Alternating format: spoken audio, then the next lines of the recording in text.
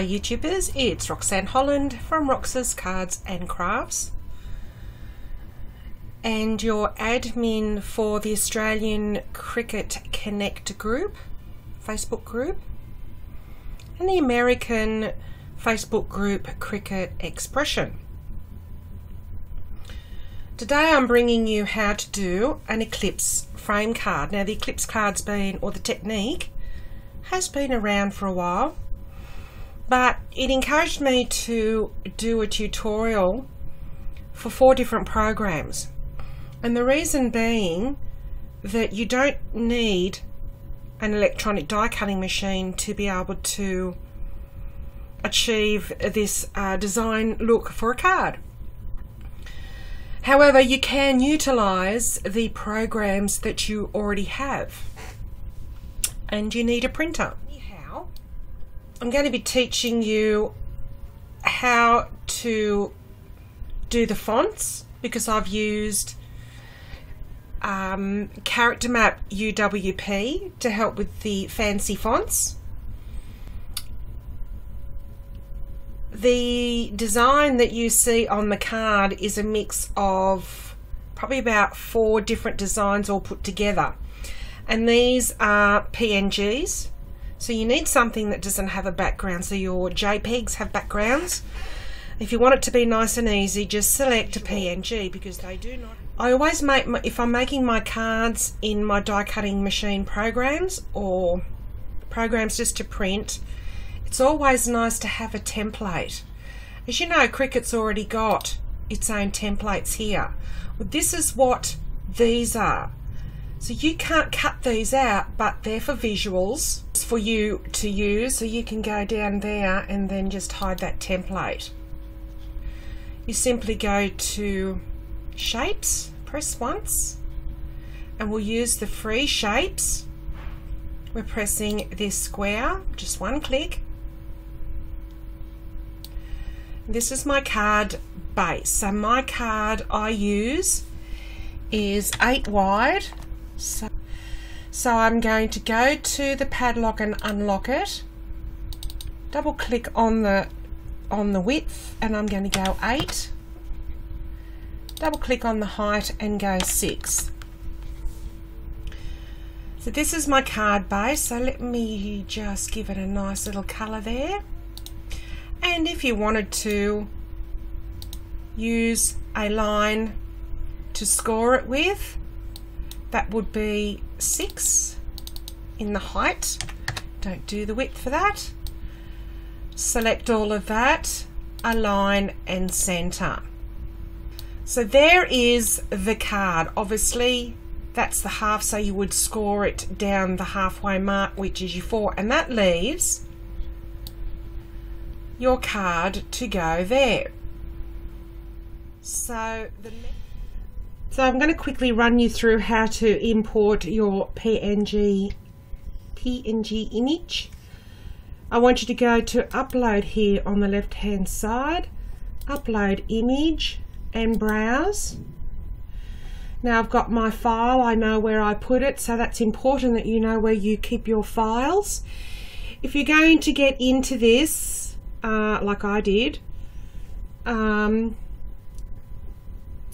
it's always handy to have an external hard drive and I try and put everything in there and that way it doesn't make my computer slow. Alrighty, so I am going to just select, I think I already selected the frame, which is this one. So you would select anything that you want to select. So you just, I'll go, I'll go with another one. Um, actually what I'll do is, I'm going to go to Creative Fabrica because I buy a lot of their stuff and clip art, clip art graphics. Double click.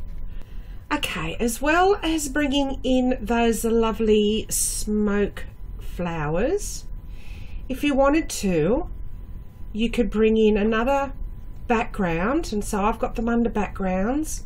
So I also brought in some other PNGs like background. So this is like some ink, ink writing. You can bring in anything, as I said, as long as they are PNGs.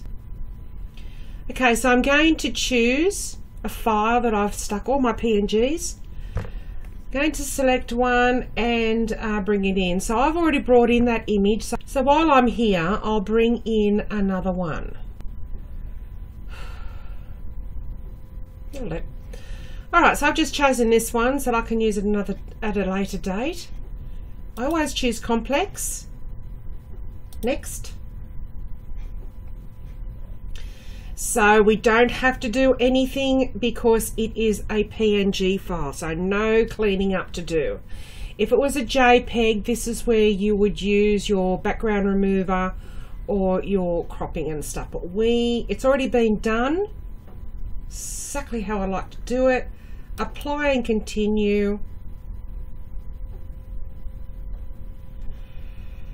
Save this as print and cut.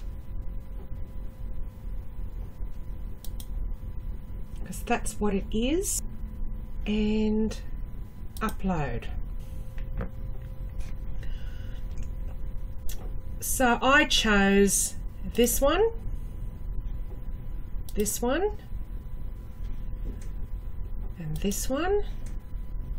And I'm sure there was another one. Yep. Okay, it was probably that one and that one. So that's one, two, three, four, five different PNGs that I have chosen to go on that card topper. And that's where I bring that in. So while they're all selected, we're going to resize them. To do it just quickly, just go into the width and select 5 and press enter and that'll shrink them. And there that's where you start putting all these and arranging them. Now let's see. Arranging them however you like putting them behind so that's behind. Turning them around. Just play with them. Duplicate them. But make sure they fit in the card template. So we're going to the size there. I'm just going to go arrange and send to front and that's basically what we're doing with the card but wait there's more you will then be using a die. So we'll go into shapes, press on the square. Now my die that I measured, so the outside larger rectangle measures, the height is, so unlock your padlock, height is three and a quarter, so it's 3.25. The width is two and a half. Then I'm going to duplicate. And this is my smaller inner die. And the height is, is two and three eighths. So that's 2.375 you can do your conversions and your width is one and a half. Select both of those, align, center. While they are highlighted, let's go down to the slice tool, the bottom right hand side, press slice, disappear and come back,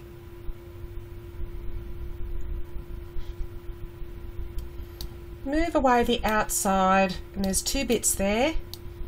Highlight those both and get rid of them.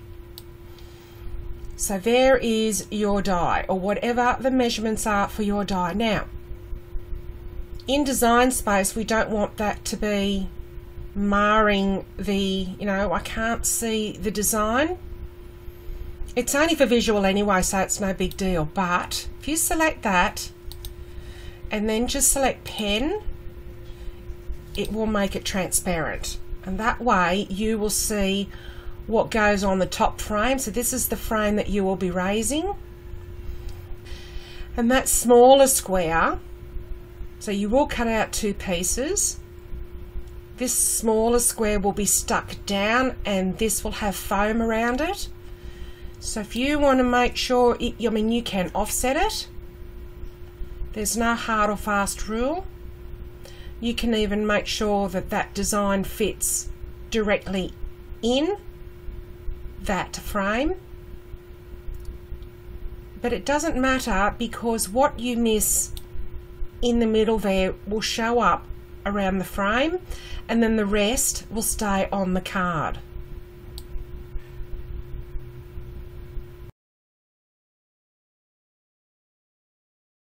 Okay, so I'm going to now teach you how to do the font.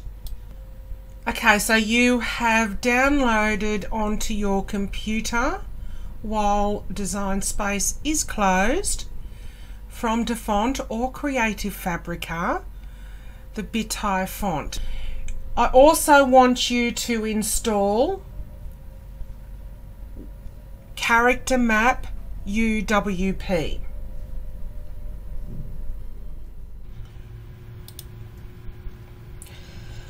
So we're going to dive into learning how to use the character map and we're going to do the dear friend and then you're going to use the same technique that I've done on the dear friend to do happy birthday as well. So open up your character map U, UWP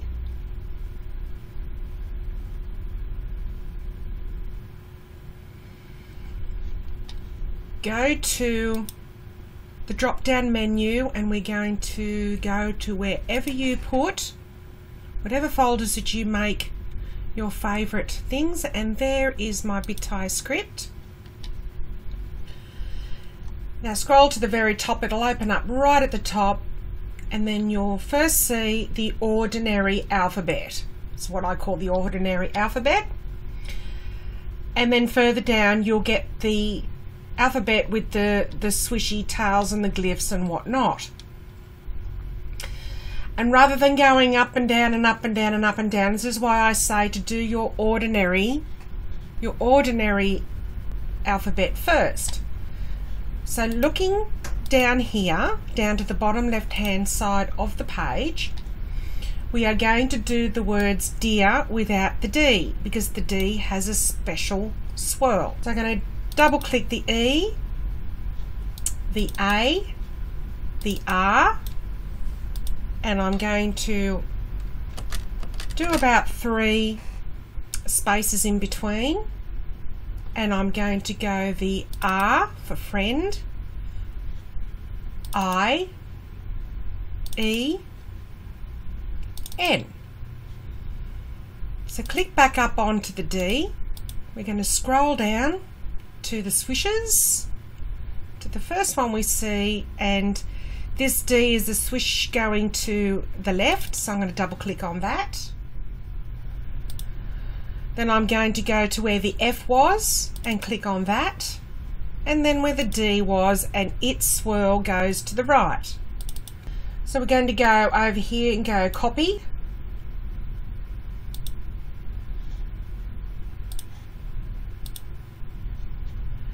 And there you see it says copy. And then we're going to minimize this and come back up on design space. I want you to go to your text tool. Then I want you to go up to your font. And mine's already on that but it, yours will automatically come in as Cricut Sans. So you go there and you press your down arrow, come over to search fonts, type in your Bitthai, press the search icon, there you'll see Bitthai script.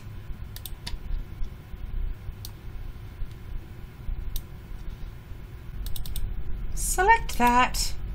So click into add text here. And then I want you to select Control plus V. Okay. Go up here to Advance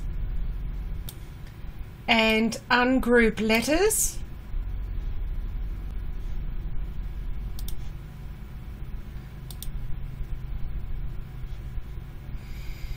All right, so with all these um, separated, highlight the dear.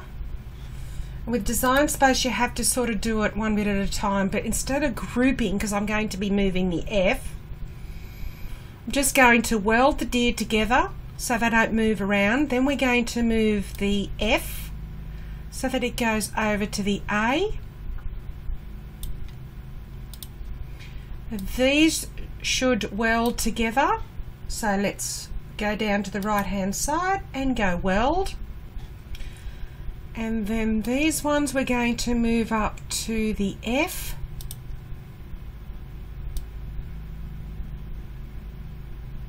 Okay. Select all of them and go weld. So that's how you get your friend to go select all and then go down to flatten.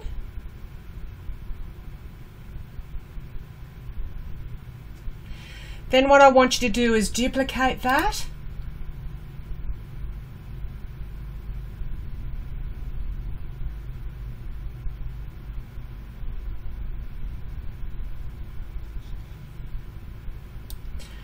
And I want you to put them close together and then I want you to select them both and attach.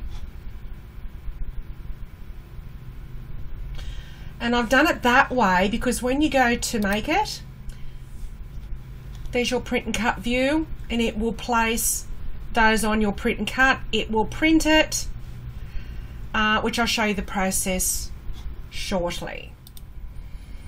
Alright so I have prepared my cardstock. I'm using I buy the ream from Officeworks and I'm using 300 GSM so you can use 280 to 300 GSM and all you need to do now is press continue. And send to printer.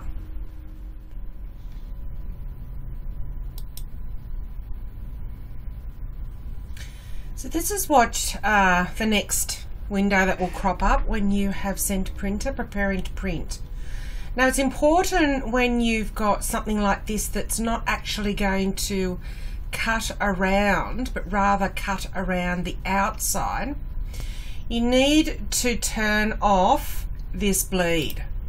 That needs to be turned off. That's really only good for stickers. So make sure that add bleed is turned off.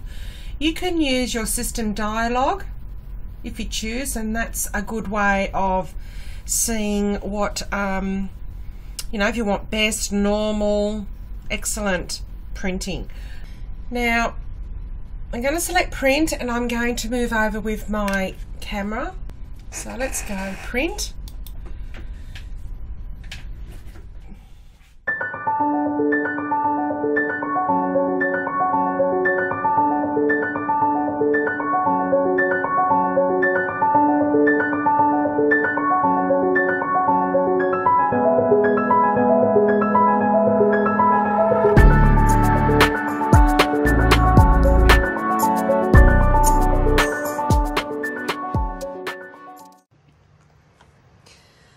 Okay, so here it is fresh off the printer. And what you need to do is line up the top left hand corner with the top left hand corner of your mat. And I just line that up first there and hold that down and then guide it straight down there and then just give it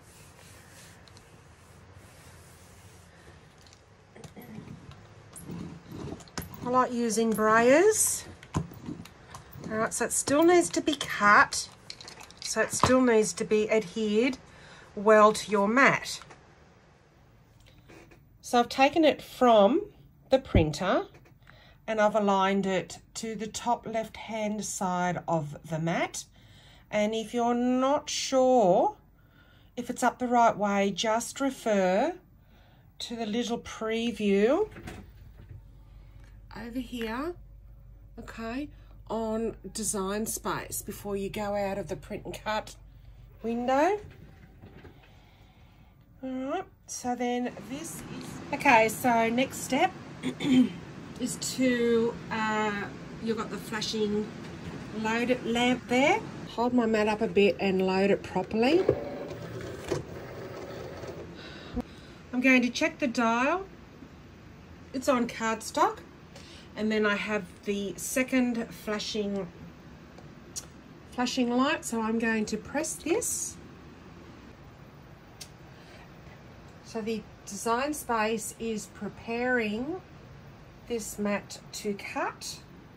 It's just sending its signals.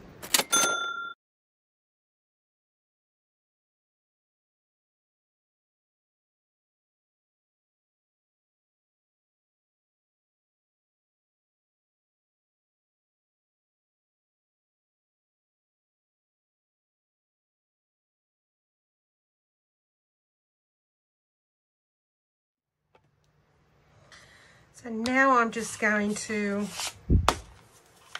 turn my mat over because I don't want to be hurting the card. The outside doesn't matter.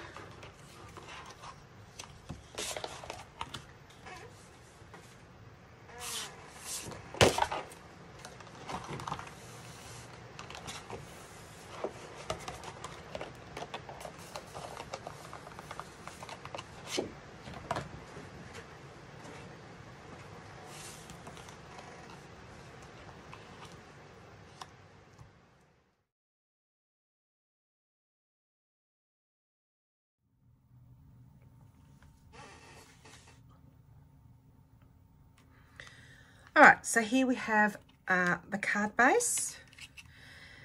This is the cutout from the My Explore Air 2, and I've just made a backing uh, a quarter of an inch more. Actually, it's one eighth of an inch more for um, this card, so it'll look it'll look like that when it's stuck down. So what I'm going to do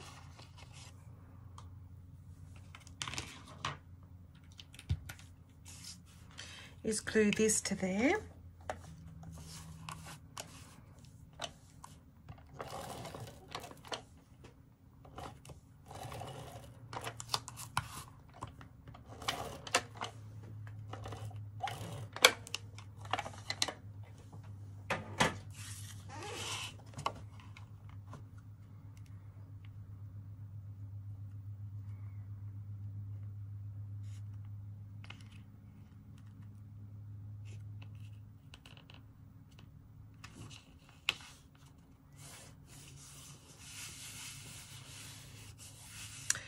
and put aside. So what I want you to do is the dies that you have selected, you are going to use some tape. And I'm just using washi tape.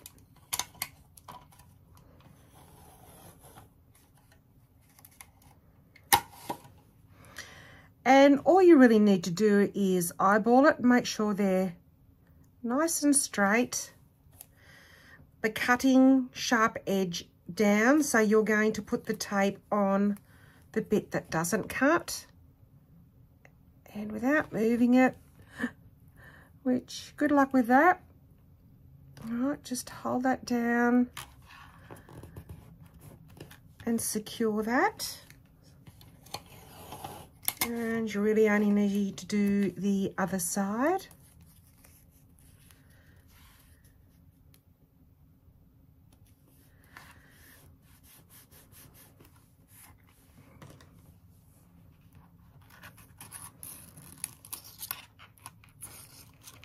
Just carefully uh, bring it up.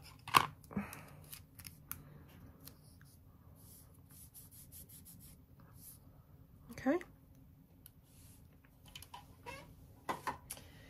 Bring over your platform. I'm using the magnetic plate, magnetic platform, but you might not have that and you can just use your other one.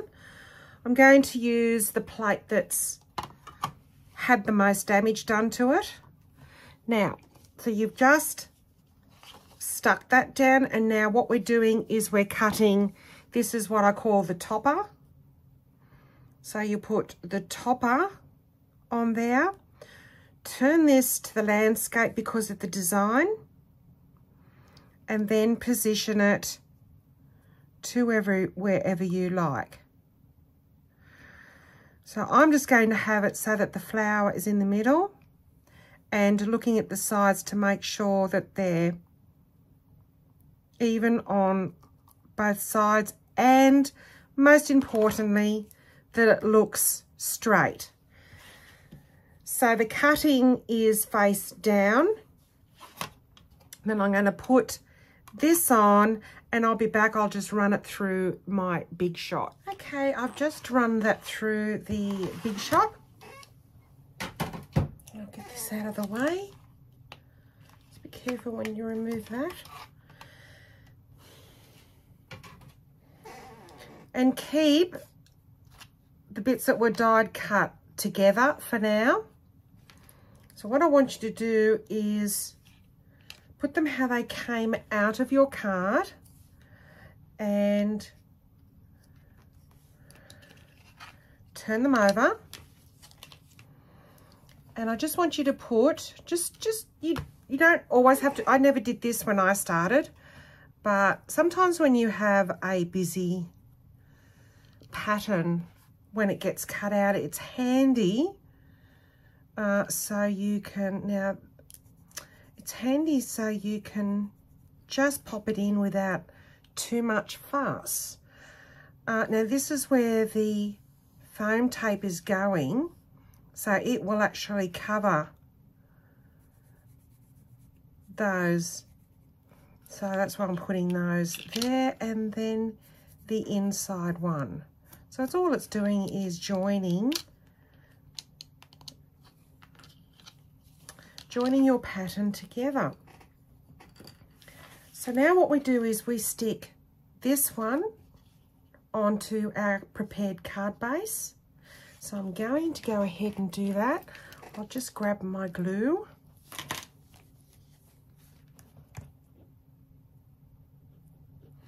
Okay, I'll take that top off.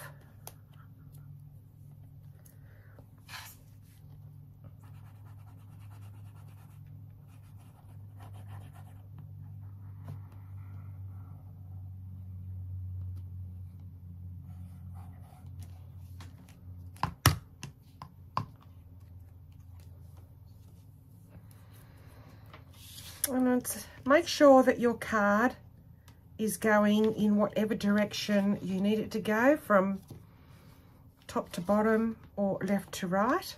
This one is left to right and it comes in another one eighth from that dark so Make sure that's that's looking nice and even and it should all fall into place nice and evenly. I'm nearly done. We'll move on to the next. And now the last step is this, this raising this frame. So we raise this frame with our foam tape. So turning that over, what I suggest you do when you take it out is take note of where the arrows go because that's the way it will be going in. But we're taking it away from this now, being very careful not to dig your nails or other instrument into it because it will dent it and you will see that on the final the final outcome of the card. So yep So this is the frame and we're going to raise that. So I'm going to make sure I keep it going that way. And I'm quickly going to put the foam in the middle of this frame. So if your frame is bigger, just use a thicker or a wider foam tape. Now see how I put those arrows in, but I'm now going to cover them up. But like I said, you'll get used to your patterns. It's not that hard to put a piece together. It was just a little tip to hopefully make life a lot faster. So I'm taking note that it goes, well, obviously I'm going to finish so that it's facing up. Plus I have an arrow there that tells me, so take these off, the backing off your foam.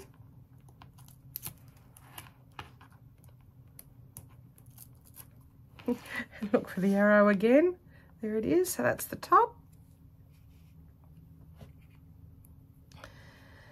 and you're going to inlay it again but this time you want so you, you'll be able to see where it goes in, but you'll also want to marry up the edges that were cut to the edges that are on your card. So, so I've got some flowers there with the stalk. Make sure it is put there perfectly. Got the fern, got the flower, I'm just going to have a look at that. Yep, that looks really good. And there's your card.